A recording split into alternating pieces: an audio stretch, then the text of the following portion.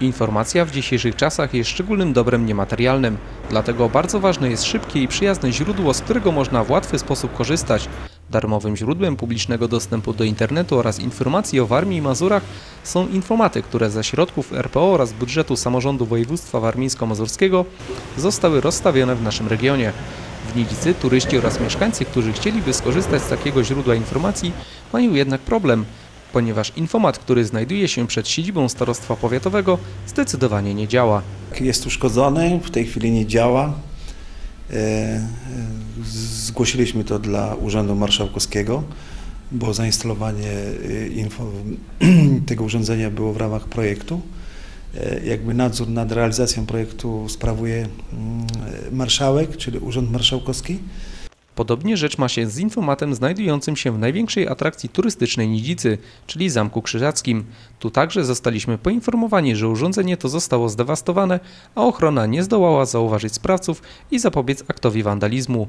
Podobne przypadki mają miejsce w innych miejscowościach, dlatego Urząd Marszałkowski rozpoczął pierwsze działania.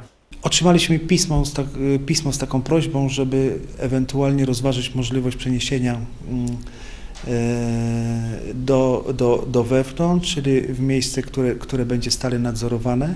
Udzieliliśmy takiej, takiej informacji, że jesteśmy gotowi i w przyszłości ten e,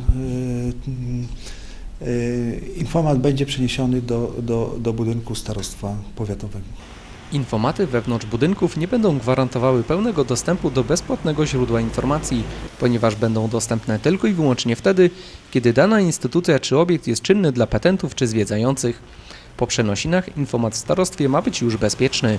Mamy monitoring wewnątrz, zainstalowany w- ramach e, Alarmex. e, e, Sprawuje nadzór, także tutaj jeśli chodzi o, o, o wewnątrz, to, to, to mamy, mamy stały monitoring. Jeśli chodzi o, e, o zewnątrz, nie mamy, nie mamy e, zainstalowanych kamer. Informaty jako obiekty wystawione na czynniki zewnętrzne powinny charakteryzować się odpowiednią wytrzymałością. Jak pokazało życie, te, które znajdują się na Warmii i Mazurach, zbyt łatwo ulegają dewastacji.